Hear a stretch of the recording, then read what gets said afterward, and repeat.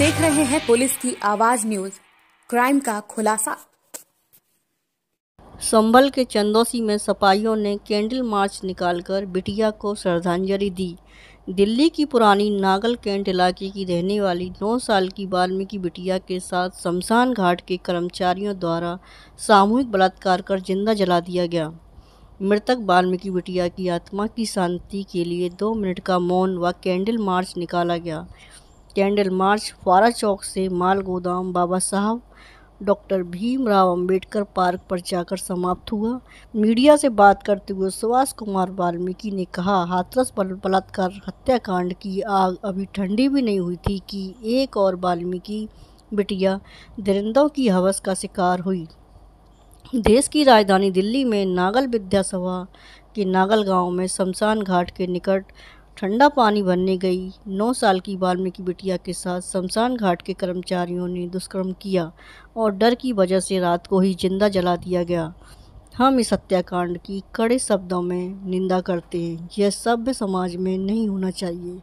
ऐसी घटना को कोई भी समाज स्वीकार नहीं करेगा। महामहिम राष्ट्रपति महोदय से बिटिया के कातिलों को फास्ट ट्रैक कोर्ट में केस चलाकर फांसी की सज़ा की मांग करते हुए और पीड़ित परिवार को एक करोड़ की आर्थिक सहायता सरकारी नौकरी और दिल्ली में पक्के मकान की मांग करते हैं। इस केस में पुलिस की भूमिका भी संदिग्ध लग रही है। अगर पुलिस की लापरवाही सिद्ध होती है तो पुलिस के खिलाफ भी कार्रवाई की जानी चाहिए। जो घटना हुई है बालिंग समाज की बेटी के साथ, उसकी उम्र आठ वर्ष थी। ठंडा पानी लेने के लिए शमशान भूमि के नज़दीक गई थी वो।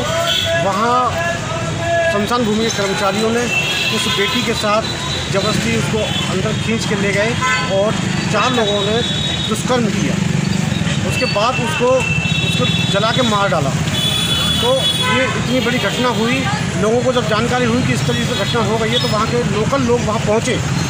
पुलिस ने, पुलिस ही पहुँची वहाँ। पुलिस ने उस बेटी को, जब वो डेड बॉडी उसकी जल रही थी, लोगों ने डेड बॉडी निकालने की कोशिश की, पुलिस ने उनको रोका।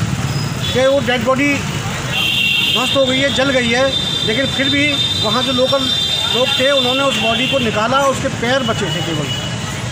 तो ये ये घटना निंदनीय है, हम उसकी घोर भर्सना करते हैं, और देखिए, जिन्होंने दुष्कर्म किया है, वो, उनको हम फांसी की मांग कर रहे हैं, और किसी भी जाति विशेष पर हम टीका टिप्पणी नहीं कर रहे हैं। दुष्कर्मी का कोई जाति नहीं होती, कोई धर्म नहीं होता। वो किसी भी जाति का हो सकता है, किसी भी धर्म का हो सकता है। तो दुष्कर्मी दुष्कर्मी है, उसके लिए हमने फांसी की मांग की है। और महामहिम राष्ट्रपति जी से हमने उस पीड़ित परिवार को एक करोड़ रुपए की मांग की है। जैसे निर्भया कांड में उस बेटी के परिवार को मिला था पक्की नौकरी की मांग की है, सरकारी नौकरी की मांग की है और एक मकान की हमने मांग की है, क्योंकि वो परिवार बहुत गरीब परिवार है। रोजी रोटी वहाँ इतनी गरीब हालत में है वो कि वहाँ भीख मांग कर और कूड़ा वूड़ा पीन कर वो अपना गुजारा करते हैं। इस हालत में वो परिवार वहाँ रह रहा है। तो हमारी मांग है कि इस केस को फास्ट ट्रैक कोर्ट में केस चलाया जाए। उन दुष्कर्मियों को शीघ्र, अतिशीघ्र फांसी के तख्ते तक पहुँचाया जाए, जिससे कि एक नज़ीर बने कि पुलिस का इकबाल कमज़ोर नहीं हुआ है, पुलिस का इकबाल कायम है। और उनको फांसी हो सके। इसमें, इस केस में पुलिस की भी हिला हवाली हुई है।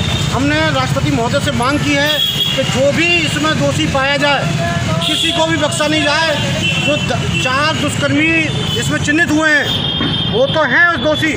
और जो भी पुलिसकर्मी उसमें, उस केस को दबाने के लिए उन्होंने जो कार्य किए हैं, वो भी उसमें दोषी हैं, बराबर के दोषी हैं, उन पर भी वही केस लगे। हम ये भी मांग करते हैं।